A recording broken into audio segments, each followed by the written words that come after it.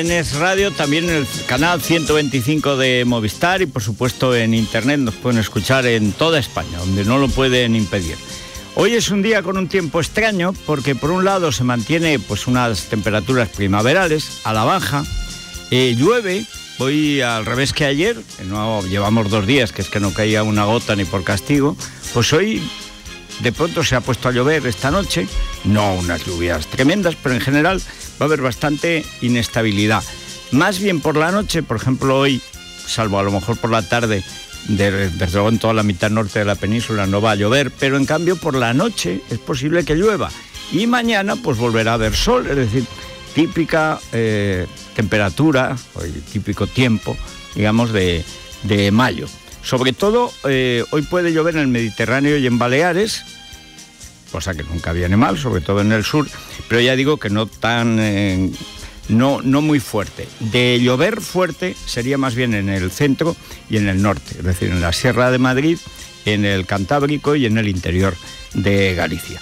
Ahora tenemos unos 12, 13 grados, no, perdón, 17 grados en Madrid, pero no pasaremos de 22, 24. Ayer estábamos ya en 27, parecía que 29, bueno, pues no. La máxima en Murcia, pero en vez de 35, 30 grados. Y la mínima, pues de nuevo el pelotón del pasmo con 6 grados, pero hoy Ávila, León y Soria. Bien, y vamos con las noticias del Santander con Rosana Laviada y Vanessa Vallecillo. Bueno, ayer por cierto, no sé cómo ha quedado lo del jamón Rosana, si al final gana Ketty o Luis Herrero. Bueno, Ketty dijo que Susana Díaz eh, obtendría más del 50, si más, del 50. más del 50%, ¿no? Pues sí, que debe estar el 51. Sí. bueno, pero esta es la, esta es la gran noticia. La verdad es que nadie lo esperaba, todos han ido a engañar a todo el mundo. Eh, Pedro Sánchez se hizo el muerto, eh, filtró que tenía solo 15.000 avales o menos, la otra se hizo la demasiado viva, que tenía 40.000, pero que el otro no tenía nada. La una se fue a 60 y tantos, a 60.000, y el otro casi. Que es una votación muy grande para el Partido Socialista.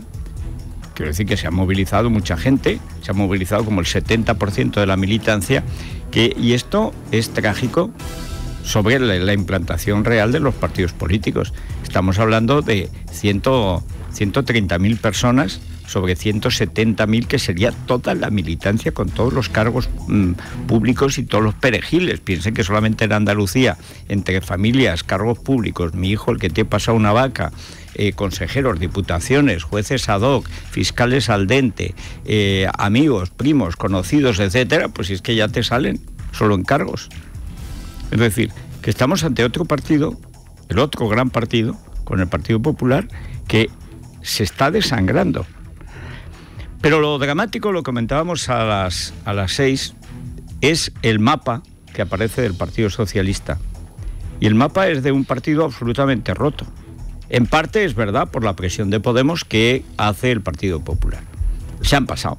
Eh, se ha pasado. Eh, la sexta y la cuatro se han pasado. Le han dado tanta fuerza a Podemos, en estos momentos el PSOE es un juguete roto, con un pequeño problema, y es que cuando tienes 137 escaños, más vale que te fabriques entonces tu propio juguete. Cosa difícil.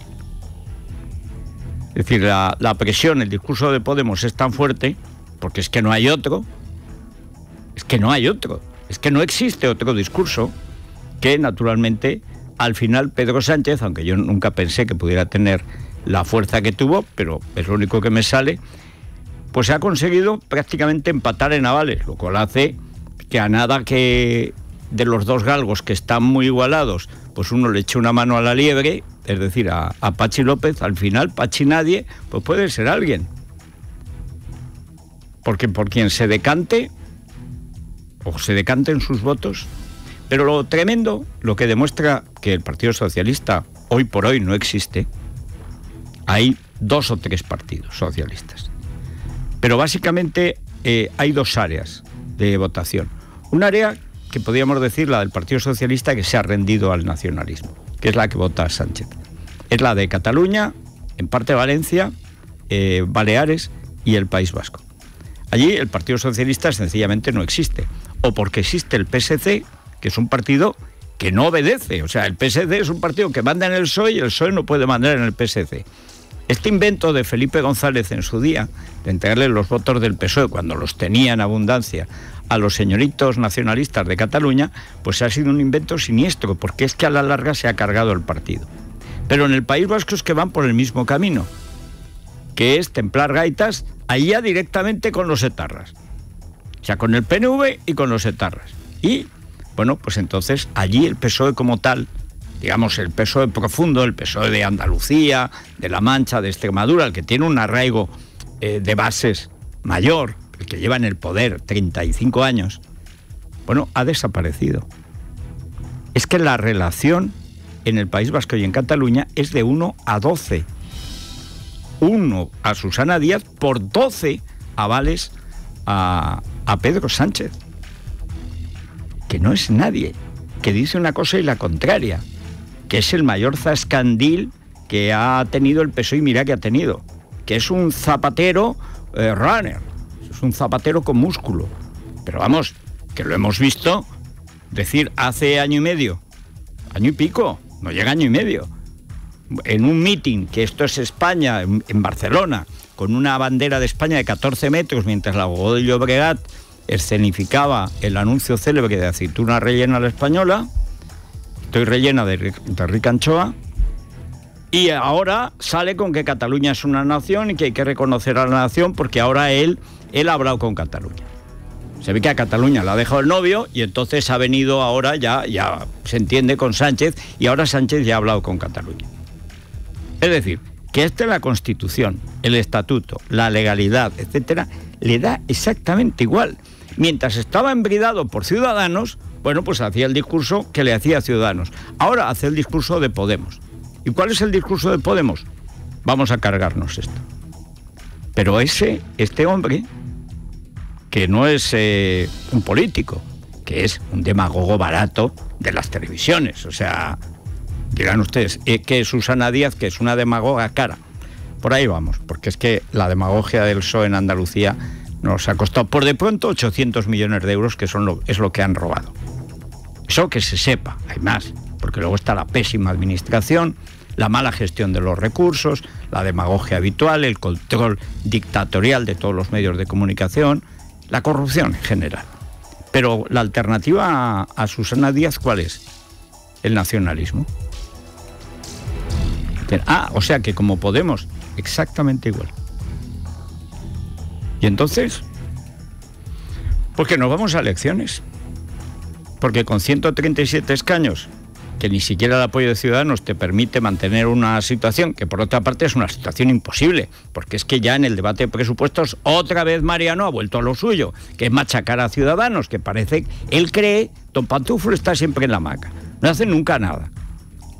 Nada, nada bueno, porque malo hace, pero siempre contra los suyos. Y como Ciudadanos es su aliado, pues contra Ciudadanos. Entonces, claro, las relaciones entre el PP y Ciudadanos nunca han sido muy buenas porque Mariano solo se lleva bien con Coleta Borroca. A Mariano lo que le gusta es el matoncete este de la coletita, el niño de la Montero, o la Montero del niño. Y claro, con eso y un bizcocho pues no llegamos a las 8, es decir, a elecciones. ¿Pero por qué? Porque no se puede pactar nada.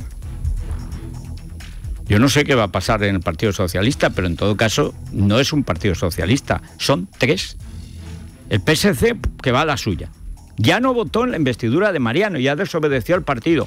No lo liquidaron, que era el momento, y naturalmente ha vuelto, y ha vuelto dándole todos los votos, pero repito, en relación 12 a 1, eh, al tío que se va a cargar a Susana Díaz, que es la base territorial del, del Partido Socialista, Andalucía. Y luego están eso, Sánchez y Susana Díaz. ¿Hay diferencias entre ellos? Hombre, sí, se supone que una es menos nacionalista, porque es que en Andalucía lo de ser antiespañol, pues no se lleva demasiado. Y el otro es, es ahora, ahora, pero ahora, ahora, de los últimos meses, pues es, pues como Podemos, todo lo que sea hundir el sistema de acuerdo a elecciones. Vamos, a ver lo único que me sale. Mejor eh, ahora está, está sin terminar el recuento de los avales. Pero también ayer Susana Díaz filtraba por la tarde a los medios que habían hecho trampa, que no podía tener esos avales, porque en Valencia no podían tener 9 a 1, 9 a 1, en Cataluña 11 a 1, o casi 12, y en el País Vasco igual. Y entonces, ¿eran buenos o eran malos? Pues siguen contando. Pero vamos, en todo caso, ayer fue una jornada de una derrota total de Susana Díaz, derrota aplastante, moral, ha ganado en términos materiales, pero que el que gane, al final, tiene al partido hecho pedazos. Y encima un partido a modo de virus instalado en su organismo que es el PSC, que le va a hacer imposible reorganizarse.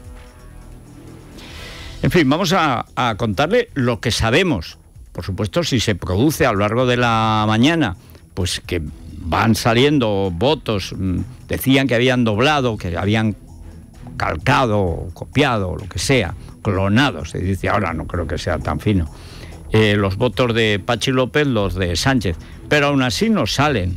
Es decir, aún así, aunque hubieran clonado mucho, que sacó 12.000 el Pachi, ¿no? 12.000. 12.000. si tiene el otro 57.000, pues aunque haya sido eh, haya clonado los 10.000, que serán 5.000, es igual, se quedan 52 o 53.000. Es una barbaridad. Para alguien que va, digamos, contra toda la organización interna del partido. En fin, vamos a contarles los datos que tenemos y lo que ya se empieza a hablar desde ayer por la tarde en el Partido Popular. Claro, ellos esperan que las elecciones se las gane Podemos que el miedo a Podemos les gane las elecciones y que Podemos machaque al PSOE. Bueno, ya lo ha machacado. ¿Y ahora? Pues no lo sé.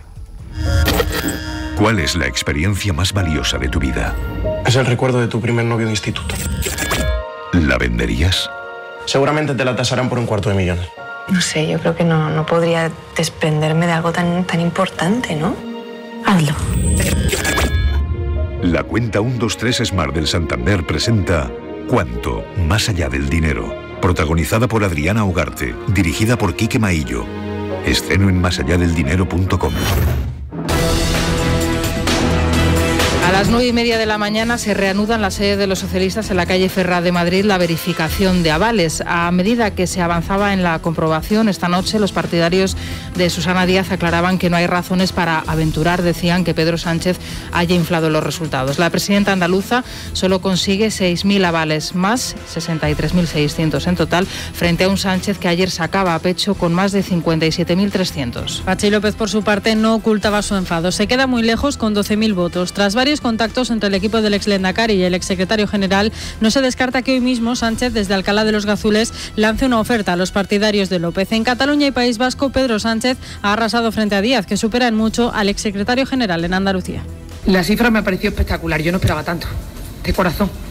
No esperaba tanto. Es verdad que nunca me había presentado un proceso de primarias en España, pero la respuesta ha sido infinitamente mayor de la que esperamos. Y eso tiene que ser un motivo, un acicate para trabajar aún más. Algunos se han sorprendido de los avales. ¿Y sabéis lo que ocurre? Que se equivocaron aquellos que pensaban ganar el Congreso antes de que los militantes votáramos. Vamos a votar y vamos a ganar estas primarias. Parece que hay quien los ha utilizado más para ir a la caza del militante y provocar una guerra de avales que lo único que ha provocado es aumentar todavía más la, tensión y la división. Hay que unir al PSOE, dirá Pachi, así que acabará de rematarlo, pero más que nada es que apoyes a quien apoyes, el partido está muerto. Y tiene para rato. Pero para rato, para rato largo, porque es estructural. El problema del Partido Socialista es que no existe que ya son taifas, es que el sistema de las autonomías es tan siniestro que acaba devorando a los partidos y eso es exactamente lo que le ha pasado al PSOE. Bueno, y ahora, ¿qué dice el PP? ¿Qué dice el gobierno? O sea, ¿qué va a decir hoy Ferreras? Es decir, que sea el gobierno, es la marca roja del PP. ¿Qué va a decir?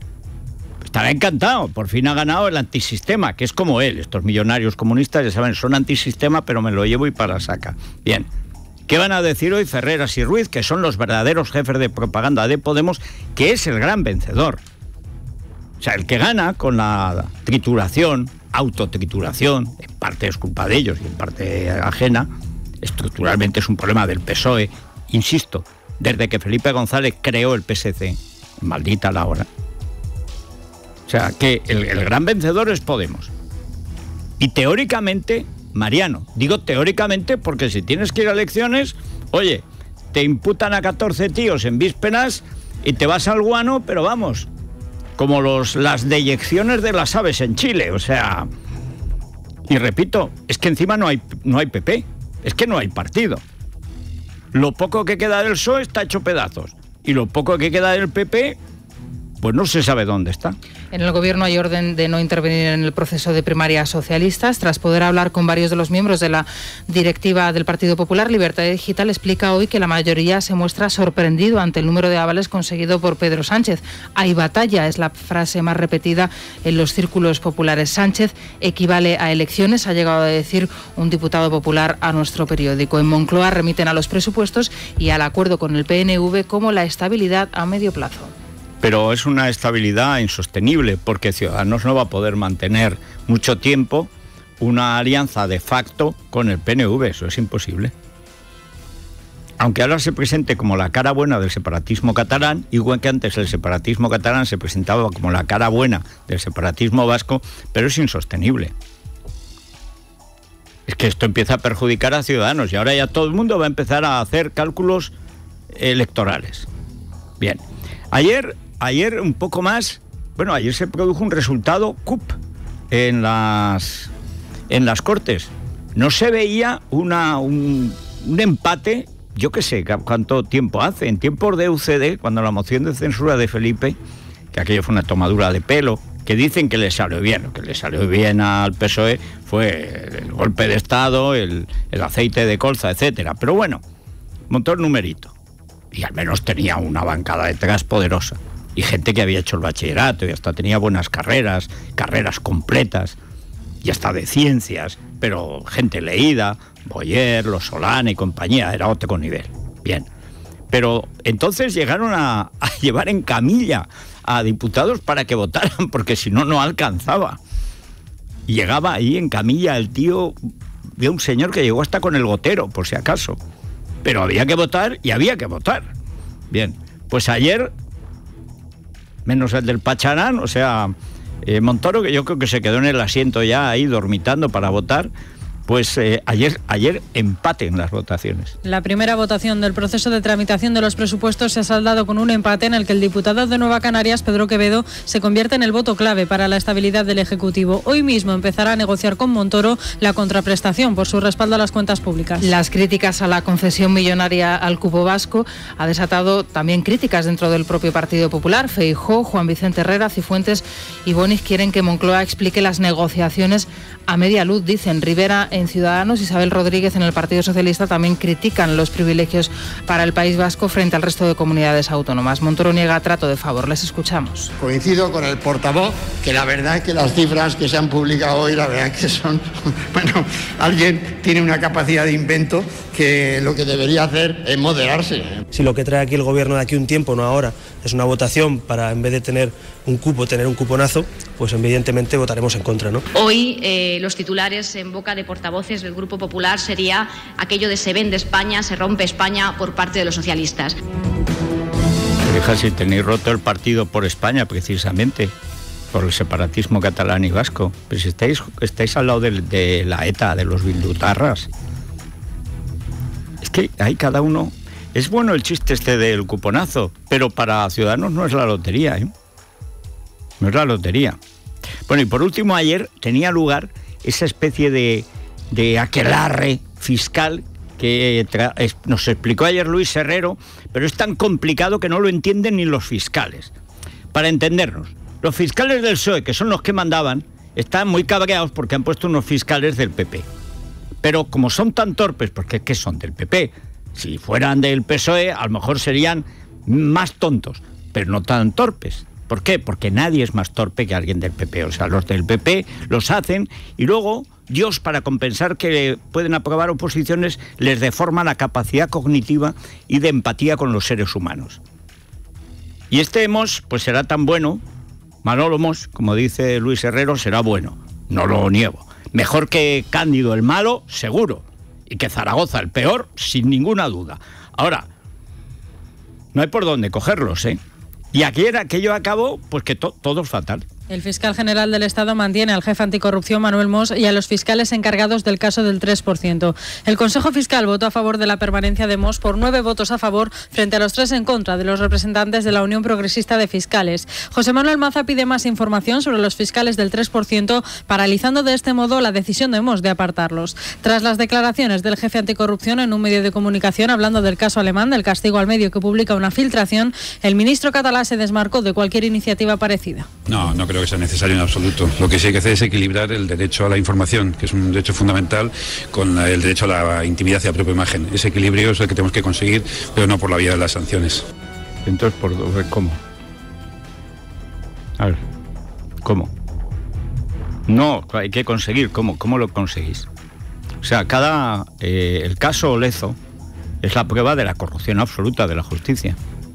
Hoy se publican más conversaciones Conversaciones grabadas, conversaciones que de nuevo ponen a Mauricio Casals, a Maruenda y al encarcelado eh, segundo, que ya va camino de tercero o cuarto, porque se reproduce continuamente. Todo el aparato de propaganda del planeta, que es el aparato de propaganda, la marca roja del PP, porque repito, lo importante de ese grupo es que es el, de la sexta. ¿Y eso cómo se, se impide? O sea que declaran el secreto del sumario y automáticamente empieza a filtrarse. No, no creo que queda. No, no, no creo. ¿Cómo que? Sí, sí, sí creo. O sea, o es secreto o no es secreto. Pero ¿va a hacer usted algo? ¿Pero qué va a hacer, hombre? Pero si es del PP. ¿Qué va a hacer? No hacen nada. Ay, ay. Dicen, ay, ay, estos niños Ay, ay, ay, ay, cómo se ensucian las manos. Ay, ay, ay, ay, estos niños. Pues si tú eres el padre. ¿Sí? Yo creo, no sé. En fin, vamos a ver cómo está el tráfico decente, lo único que nos queda que es el rodado. Rubén Fernández, buenos días. Buenos días, pues en estos momentos en Madrid hay tráfico denso en el paso del Prado, entradas y salidas de la capital, en la M30, avenida de Menéndez Pelayo, paso de las Delicias, General Ricardos y Antonio López. Se vamos cómo se circula por resto del país de GTR. Martínez, buenos días. Buenos Bien, mientras el PSOE se descuartiza, eh, Podemos se despedaza, porque es una tradición, claro, es que Podemos no es un partido político, Podemos es una banda. Alguno dirá que un movimiento revolucionario. Bueno, bien, son los chicos de los asesinos de Caracas, nada más. Es un partido fundado por un narco régimen corrupto, comunista, tiránico y asesino, criminal. Delincuente desde la mañana hasta la mañana del día siguiente. Y luego otro día más, y así todos. Bien, pero es que además, entre ellos, una pandilla de inútiles que a duras penas tenían un bachillerato mal hecho. De los de ahora, pues claro, no habían tocado poder ni sabían lo que era una nómina, amigo. En cuanto han tocado poder, han empezado a repartírselo los amigos, los deudos, los vecinos, los parientes, el sobrino político, una suegra, una novia, la dipunovia que dejé, la dipunovia que quiero conseguir, el dipunovio que está por allí, el, tío carnal, papá que lo haciendo, papá pitito que lo haciendo de, de nivel. Por cierto, nos mandan de Málaga una, foto fantástica de cuál es la sede de ahora Málaga, que es la facción Podemita, de allí, la taberna de Pitita. Nosotros no hemos sido Pitita, es en Málaga. Ahora lo subiremos.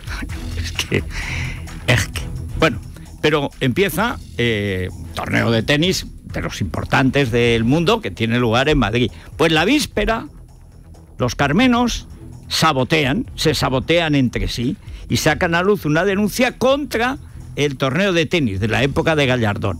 Que siendo de Gallardón no me extraña que pueda haber casos de corrupción, de mala administración, etcétera. Un sitio que huele a cloaca, pues lo más probable es que haya una cloaca. Pero, pero la víspera del torneo, o sea, no se puede sacar la denuncia cuando haya terminado. Hombre, por el bien de Madrid, digo yo. ¿Qué bien de Madrid? Pues esto lo que querrían es Madrid como Hiroshima. Bueno, el caso es que hay un follón morrocotudo. Ahora Madrid revienta el Mutua Madrid Open de tenis con la denuncia de corrupción interpuesta ante la Fiscalía por la exconcejal de Cultura Celia Mayer y el de Hacienda Carlos Sánchez Mato. Rita Maestri defiende a sus compañeros. Isabel Rusell del PP habla de venganzas en el seno de Ahora Madrid y desde Ciudadanos y PSOE, Begoña Villacís y Purificación Causapié critican que la filtración de la denuncia en este momento perjudica al torneo gobierno responsable, a diferencia de lo que hicieron gobiernos anteriores, cuando tiene el más mínimo indicio o sospecha de que algún euro público no se ha utilizado bien, tiene que ponerlo en conocimiento de quien tiene la capacidad de dictaminar si eso se ha producido o no. Es fruto de la guerra interna del gobierno de Carmena entre los concejales de Ganemos e Izquierda Unida y el coordinador de la alcaldía, Luis Cueto. Uno no comprende por qué quieren sistemáticamente boicotear todas las oportunidades que tiene esta ciudad para visibilizar, para generar empleo, para recibir inversiones, para ser situada en el mapa. Nosotros también esperamos que este acontecimiento, que es importante para Madrid, se celebre con normalidad y que esto que hemos conocido hoy no vaya en detrimento de una actividad que nos parece importante para nuestra ciudad. Lo que va en detrimento es tener a estos mangutas en el ayuntamiento que los tenéis vosotros, señora causapiés, buscapiés, puntapiés o como se llame. Lo que va en detrimento es que, habiendo perdido las elecciones, estén en el poder los comunistas que además de una pandilla de inútiles, encima, claro, es que no habían tocado dinero. En cuanto han tocado, bueno, se les hacen los dedos huéspedes. Pero están ahí por usted, señora Causapié, que le ofrecieron a la alcaldía de Madrid al señor Carmona, o reviente, prefirió reventar antes que desobedecer al partido. Y resulta que el partido no existe, que está partido por la mitad también en Madrid. Pero casi al 50%. Bueno, ayer la gran noticia, porque era una excelente noticia, sobre el paro y la seguridad social, pues claro, entre el pacharán del, del murciélago y luego el follón de los avales y el lío en el Partido Socialista, claro, ya con la mala noticia de hoy no nos acordamos de la buena de ayer, pero la verdad es que era una excelente noticia. El gobierno muestra los últimos datos del paro como prueba de que no hay que reformar lo que funciona. La creación de empleo en abril ha sido más alta de lo previsto por la Semana Santa. Se trata de datos históricos con una caída del desempleo y el récord de afiliación a la seguridad social. Rajoy celebra los datos y lanza este consejo a los jóvenes. Saber manejarse en situaciones difíciles, saber decir que sí, saber decir que no, saber mirar hacia otro lado cuando hay que hacerlo se está describiendo. Dice que sí, dice que no, mira a otro lado. Siempre. ¿Y si ha visto lo que pasa en España? ¿Dónde? O sea, si queréis prosperar, haced como yo, no hagáis nada. es asombroso. Realmente, en fin, si no fuera porque va en contra de nuestros bolsillos, de nuestros intereses, de la patria y tal, pues sería para desternillarse, porque este tío es que cada vez que le pones un micro sube el pan. Está tan feliz de haberse conocido, aun sin saber quién es, que sorprende. Es como un bebé que tiene esa sonrisa social que llaman los niños. Y dice, mira cómo se me ríe el niño, y el niño no ve nada, el niño sonríe para que no le pegues, porque es un mecanismo que tienen de defensa las criaturas de la especie humana. Yo lo siento por los neopapás, que aquí no sé cuántas son, ni neomamas, pero cuando el niño hasta los 3, 4 meses hace esa sonrisa, que todo el mundo, ¡ay, qué listo! ¿Y cómo se parece a la familia? No, ¿cómo? se parece a la... ¡Oy, oy, oy, oy, oy, oy, oy, Pues es una sonrisa defensa. El animalito sonríe porque sabe, lo tiene ahí en su circuito de ADN, que si sonríe, no lo ahogan. Sí, pero en general no, porque tú ves a un niño sonreír y lo último que se te ocurre es estrangularlo. La cosa es cuando llora. Bien. En fin, la situación en, en Venezuela sigue, pues parece imposible que vaya peor. Bueno, pues sigue, sigue yendo a peor. La verdad es que el matón jefe, el jefe del narcotráfico en el Caribe, según el Departamento de Justicia norteamericano, Diosdado Cabello, pues llama a matar más. Llevan 25 muertos contados y algunos desaparecidos, pues que probablemente pues estarán igual los pobres. Hasta un, el, el canalla Dudamel, que es uno de los sujetos más despreciables del mundo de la cultura internacional, mataron a un joven músico de 17 años, le pegaron un tiro en la cabeza, lo que hacen todos los días. Y entonces, ay, ha puesto en su cosa una cosa, un crespón negro, ay, pero si este es el que estuvo en el funeral de, del gorila rojo y fotografiado al lado de, Maduro y de, y de Chávez. Pues este es el mayor canalla de los, que, de los alfabetizados que ha dado Venezuela. ¿Cómo estará la cosa? Que hasta este canalla, porque es un canalla redomado, sacó ayer una nota que parecía hecha por Pablo Iglesias. No había manera de entenderla. Esta era, no soy del régimen, pero del régimen soy. O sea, te critico, pero que no se note. O sea, era como Mariano, pero en mucho más sinvergüenza. Bueno, este no es sinvergüenza, este es un canalla redomado. Pero hasta este sujeto, despreciable sujeto, en el que se basa la serie Mozart in the Jungle. Por cierto, hoy tenemos a Afgan de la jungla. Sí. Ese, es el de la jungla de verdad, el otro es un objeto. Bien. Pero hasta ese ya, ya no está con el régimen.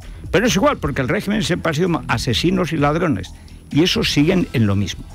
En Venezuela, la represión de Nicolás Maduro se salda con al menos 35 muertos en un mes. Diosdado Cabello pide textualmente a los chavistas que den la batalla en la calle. Esta noche, ocho países latinoamericanos han condenado el recrudecimiento de la violencia.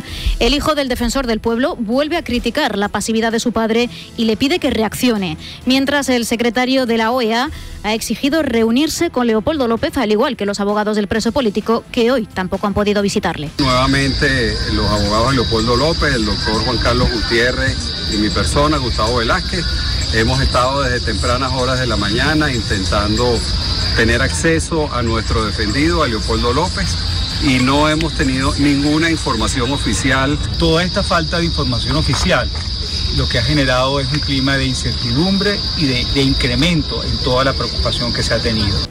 Bien, ayer hablábamos en directo con Lilian Tintoria en las 3 de la madrugada de hablar con una mujer que dice, no sé dónde está Leopoldo. O sea, y Zapatero, que además que dijo expresamente que Zapatero podía decir algo, ya que es el sicario del régimen, si hasta Dudamel ahora se pone de perfil, repito, ese canalla con violín, con violines, porque le ha matado a un violinista, bueno, a un violista, porque tocaba la viola, no el violín hasta ese se pone de perfil, Zapatero debe ser que cobra al día, porque es que si no nos explica que siga callado el canalla, nuestro canalla, porque aquí cada país tiene sus canallas. Esto es una canallada total.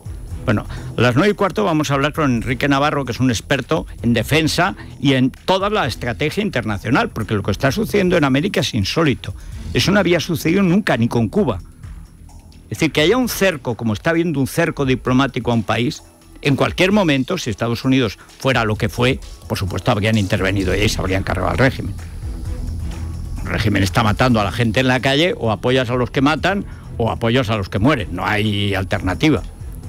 Pero en todo caso, diplomáticamente, lo único que está fallando es España y Estados Unidos. Ocho, España, que es la cabeza de Iberoamérica en Europa, la Unión Europea, que bastante tiene con Francia, y Estados Unidos. Hablaremos hoy con Enrique Navarro de todo lo que se está jugando allí que es mucho. O sea, no solamente la libertad del pobre pueblo venezolano, es toda, toda la seguridad en una zona clave en el mundo. Empezando porque es la plataforma del narcotráfico a todo el mundo, que empieza en España además. En fin, vamos a la prensa económica con la Caixa. Es la mañana, es radio. En Prosegur Alarmas no te metemos miedo. Nosotros te ofrecemos la tranquilidad del líder en seguridad. Contrata ya la alarma con triple seguridad y protégete ante todo tipo de robos. Proseguriza tu hogar o negocio y vive tranquilo desde tan solo un euro al día. Llama ya al 900-223-223 y no pagues hasta julio. El perfume de tu madre, un olor imposible de olvidar y el único que cuando percibes es capaz de transportarte hasta ella y hacerte sentir que has vuelto a un lugar seguro. Regálale su fragancia favorita, Good Girl de Carolina Herrera, Mar de Coral de Loewe o la Belle de Longcomb y vuelve a ese lugar. Feliz Día de la Madre, el corte inglés. Estás escuchando Es Radio. Mmm. De las patatas fritas me gusta el sonido. Escucha, escucha. Pues tienes colesterol, así que tú sabrás que ya eres mayorcito. Tener el colesterol alto es una seria amenaza para tu salud. Divecol Forte, con levadura de arroz rojo fermentado y 10,5 miligramos de monacolina K, te ayuda a combatir los altos niveles de colesterol en sangre. Divecol Forte, de laboratorios Mundo Natural. Consulta con tu farmacéutico dietista y en parafarmaciamundonatural.es. Es la mañana de Federico con Federico Jiménez Los Santos. CaixaBank patrocina este espacio. Luis Fernando Quintero, muy buenos días. Buenos días, Federico. Bueno, eh, tenemos noticias de lo de las, las buenísimas de ayer de, del empleo y de la seguridad social, que son mejores, porque el gran problema en España es la seguridad social, las pensiones, que eso no hay quien lo pague. Y luego hay más noticias también de empresa. Hoy la prensa económica parece viva. Sí, sí, tenemos eh, muchas informaciones, pero déjame que recomiende a nuestros oyentes que echen un vistazo en Libre Mercado porque tenemos un análisis pormenorizado y además mirando el gráfico, eh, la letra pequeña de todos los datos del paro porque tenemos cosas muy importantes. Por ejemplo, que el sector servicios registra hoy un 5% de empleos más o de más empleos que en el pico de la burbuja eh, inmobiliaria, cuando más empleo había. Bueno, porque se ha pasado también de la construcción al sector servicios, que por otra parte es mucho más estable en España. Efectivamente, y habla un poco, bueno, pues de que ese cambio en el modelo productivo eh, va, digamos, por el buen camino. En expansión, ¿qué nos cuentan? Bueno, que el consejero de el Consejo de OHL ha exigido, exige la salida de López Madrid. Que es que creíamos que había salido y resulta que estaba dentro. Estaba dentro y están los... ¿Cómo es el compillogi? Se aferra a todo. Quieren eh, que antes del día 9 haya presentado su dimisión, antes del día 9, que ya, si no me fallan los cálculos, es la semana próxima. Sí, porque es que en cualquier momento pues, va a salir otra conversación y la liamos. Sigue la filtración de conversaciones. Estaba leyéndome el palimpsesto de hoy en el país, otra vez con Mauricio, Edmundo, Maruenda, Cifuentes. Bueno, bueno. El que no sale... Catalá, deberíamos hacer algo. Este es como Mariano. El que no eh, sale es Rajoy, te iba a decir. No, no, claro, pero que vas a, pero es asombroso. Pero en el economista hoy le dicen Rajoy en fila el visto bueno al presupuesto al tumbar las enmiendas. No sé si ha sido diciendo sí, ¿no? O poniéndose de perfil. No, hace como yo, no hagáis nada, no hagáis nada. bueno, ayer nos falló Celta, ¿eh? Sí. Vamos a ver que nos cuente Vicente Aspitarte qué pasó, porque yo lo iba siguiendo por Libertad Digital y uy, uy, uy, no quiero verlo. No quiero verlo porque luego a Raúl Vila, yo voy a tener que mandar un pañuelo de hilo, no puede ser. Y bueno, han perdonado la primera parte, digo, pues hombre, la segunda siempre cuando perdonan se paga. Bueno, que nos lo cuente Vicente Espitarte. CaixaBank presenta la cuenta Family, porque hacer las cosas en familia tiene muchas ventajas. Ven antes del 30 de junio a una oficina de CaixaBank. Descubre la nueva cuenta Family y empieza a disfrutar de ella. Más información en caixabank.es. CaixaBank. Es la mañana. Es radio. Vicente, muy buenos días. Buenos días, Federico. A ver, cuéntame, ¿qué pasó ayer en Vigo? Ayer, bueno, pues victoria del conjunto de José Mourinho, el Manchester United, que llegaba hasta Balaídos, evidentemente con la potencia y con la exuberancia de este equipo, liderado ayer por un gran Paul Pogba, es el centro del, del campo. Grandes ocasiones para el conjunto de la Premier League, muy buena actuación del portero del Celta de Vigo, Sergio Rico, que fue capaz de repeler tres ocasiones clarísimas de gol de, los Diablos Rojos y al final en la segunda parte llegó el gol de Rashford en un error también del portero que dio un paso a un lado. Es verdad que es un buen gol de falta, pero podía haber hecho un poquito más el portero. Aún así, mantienen vivos los sueños para la vuelta porque solamente es 0-1. Pero es más difícil ganar allí es cierto, pero el Celta está jugando muy bien fuera de casa. Eso es verdad. Está marcando goles siempre fuera de casa. Juega mejor fuera de casa. Ayer quizá el planteamiento inicial de Bericho no fue el mejor. Se vio un equipo un tanto acomplejado en los primeros minutos frente al United. Eso es la, eso es la experiencia. Sí, claro. Al final es que cuando llegas a este nivel de alta competición europea, que es la mejor del mundo, con diferencia, las ligas europeas son, bueno, están las ligas europeas. Luego nadie y después ya América. Pero, pero claro, eso es fundamental. Ayer eh, leía unas declaraciones de Cañizares. Decía, yo he ganado la séptima con el Madrid, me ha ganado la octava el Madrid. Claro. Dice, y, el y estábamos jugando fatal, fatal, hasta que llegó a la final y le ganamos a la Juve. Y estábamos jugando maravillosamente el Valencia y el Madrid, una horroroso. Y, aún al final nos dieron un baño que es que ni la vimos. O sea, bueno, eso en Europa, vamos a ver qué ocurre en Liga, porque mañana arranca una nueva jornada. Primero jugará el Atlético de Madrid frente a Leibar. Vamos a ver qué planteamiento dispone Simeone para saber si tira o no tira la semifinal, dependiendo de si rota o no rota eh, mañana en Liga. Luego jugará el Barça, que es probablemente el último partido difícil de los tres que le restan. Recibe al Villarreal, que ya dio la sorpresa en el Calderón, y el Real Madrid, que viaja hasta Granada con muchas rotaciones, muchísimas parece que Coentrao podría ser titular en Granada. ¿eh? No puede ser. Parece que podría darle descanso a Marcelo de cara al Los partido del próximo ven, los miércoles. cojos andan y, Y Coentrao juega. Podríamos Pues, ver a Danilo, Nacho, Barán, Coentrao, Kovacic, James, Isco, Asensio, Lucas y Morata arriba. o sea, la mejor media que tiene el Madrid. Bueno, el, el equipo B. Sí, sí, el- bueno, el que, equipo que B. en la del centro de campo es casi A. Bueno, es, Que este- es que es la mejor plantilla del mundo. Sí, no sé yo el zapato cómo va a salir al final, porque el Madrid está, Sí, a, está a cinco ahí, ¿eh? partidos. Está a cinco partidos del cielo o del De- infierno. exactamente. Además, las tres cosas pueden Sí, pasar: cielo, infierno y purgatorio. Que es seguir esperando un mes hasta con la única Cielo, posibilidad de Europa. Y Rajoy, ¿no? Eh, no, es que yo no sé exactamente qué quiere usted decir, Aspitarte. Vamos a Movistar. A ver, Rubén, ¿qué tenemos hoy en Movistar? Pues cine de estreno, como por ejemplo Tarde para la ira, en un atraco curro encargado de conducir el coche para la huida, es el único de los implicados que es detenido y pasa ocho años en prisión. ¿Quieres saber más? Déjate sorprender en Tarde para la ira, esta noche a las 10 en Movistar Estrenos o cuando quieras disponible bajo demanda. Pues eh, nos vamos a Madrid, donde han decidido, para que veas, Vicente, sabotear Sí. el torneo de tenis arranca el mediante una denuncia justo la víspera. Sí, sí. No está mal, ¿eh? No, no, o sea, esto siempre ayudando. ¿Para qué va a venir turismo a ver eso? Exacto. Pero si es que el turismo todo lo que quiere es divertirse y gastar, gastar, dinero. eso Pues es el dinero debería estar prohibido. Excepto lamentable. para nosotros. Sí. En Granada no tendréis como en Málaga la sede de, de Podemos, la taberna de Pitita. En Granada tenemos la Alhambra y con eso ya estamos contentos. Hombre, no, es notable. Ahora, como la taberna de Pitita, que no hemos sido nosotros, no, no, debería- deberíamos. La taberna de Pitita. Y tiene un cuenco que sale así como un humillo. Sí. Aunque podría ser también un S de dólar. O sea, no se sabe lo que sale Sí, de sí, un, sí, sí. un calderito. Habrá que estar pendientes. Taberna de Pitita. Mm. Es, es, radio.